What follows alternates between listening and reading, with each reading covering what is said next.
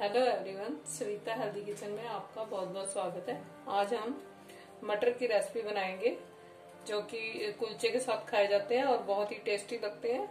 तो बिल्कुल सिंपल तरीके से और बिना ऑयल के हम ये रेसिपी बनाएँगे। तो ये मैंने मटर को रात भर भिगो दिया था, ये दो कप मटर थे।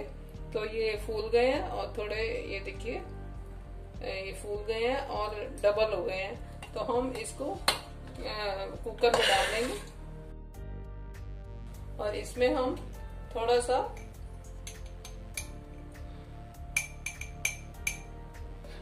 दो पिंच के करीब हम खाने का सोडा डालेंगे। और थोड़ा सा पानी डाल के हम बस ये अच्छी तरह भीग जाए। हम जितने मटर है उतने ही पानी डाल के हम इसको हमने इसको बिल्कुल सॉफ्ट करना है। जैसे मैशी से हो जाए तो और सोडा हमने ज़रूर डालना है। इससे इसका टेस्ट बहुत अच्छा आएगा।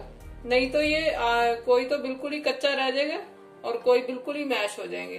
तो इसलिए सोडा डाल देंगे तो सारे इक्वल हो जाएँगे। तो इसलिए हम इसको दो से तीन विसल लगा के अब इसको बॉयल करेंगे। देखिए, अब हमने ये मटर उबाल लिए हैं अच्छी तरह और ठंडे कर लिए ये देखिए, पूरी तरह से गल गए हैं। ऐसे हो जाने चाहिए, बिल्कुल मैशी से। कच्चे नहीं रहने चाहिए। तो ये अच्छी तरह से ठंडे पहले बहुत अच्छी तरह से ठंडे कर लेने हैं इनको उबाल के।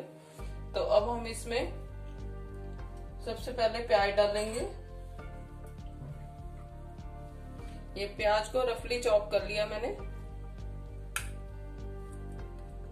खूब सारा प्याज डालेंगे इसमें।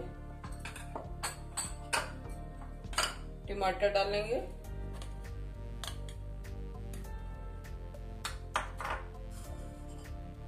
धनिया डालेंगे। हरी मिर्च डालेंगे। मिर्च अपने हिसाब से डाल सकते हैं आप। अगर बच्चों ने खाना है तो कम डालें आप। और अब हम डालेंगे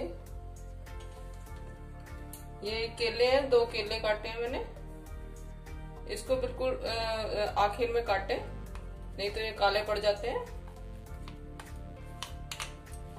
और अब हम नमक डालेंगे इसमें, स्वादानुसार।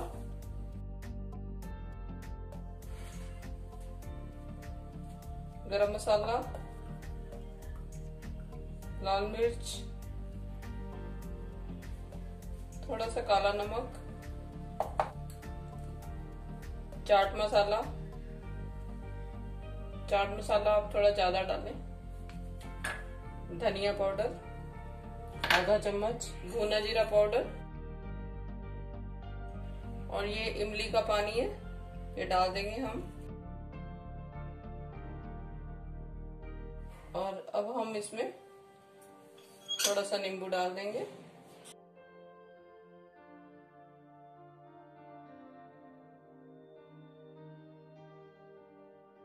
देखिए कितने झटपट से हमारे मटर तैयार हो गए हैं और ये बिल्कुल भी ऑयली नहीं है।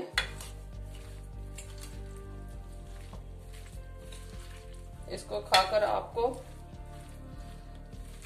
स्कूल कॉलेज की याद आ जाएगी। आप बिल्कुल ऐसे मटर बनाए, बिल्कुल सेम टू सेम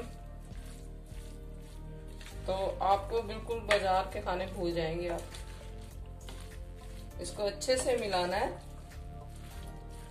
अगर थोड़े मैश भी हो जाए तो और भी अच्छे लगेंगे।